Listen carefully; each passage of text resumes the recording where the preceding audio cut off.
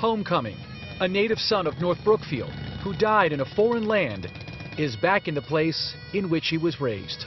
We're so proud of you, and our memories are going to live on forever. Richard McEvoy was killed last month in Afghanistan, the 57-year-old among three private contractors who died when the car in which they were driving was targeted by a bomb. The best way to honor him would be to emulate his character. That would be the way that he can live on today. McEvoy was a graduate of North Brookfield High School and West Point Academy. He spent three decades in the Army, retiring as a colonel.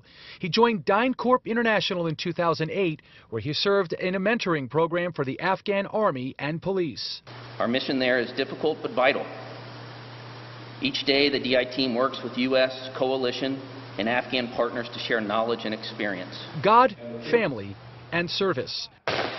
Pillars on which McEvoy lived his life and how he will always be remembered. My dad was a great example of a good Christian, always wanting to help others and living his life for something greater than himself.